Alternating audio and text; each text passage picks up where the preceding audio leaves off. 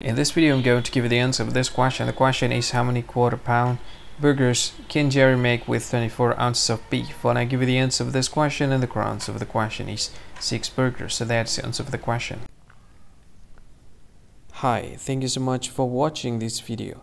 If you find this video is very useful, you can help this channel to grow by subscribing this channel. Please this subscribe button and don't forget to like this video. And if you find this video is not really good or you don't really like this video or you kind of feel that it's a little bit offensive or something like that, you can click this one, dislike button. You can do that anyway. And if you want to share this video with your friend, you can share it by clicking this share button and you can share it to any any social media that you wish that is currently available at this time like Facebook, Twitter, LinkedIn, and many others. Right?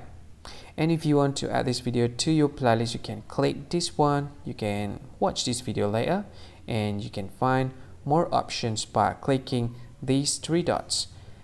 And yeah, don't forget to subscribe. I think that's all of it. Thank you so much for watching this video and see you again in another video. Bye bye. See you again.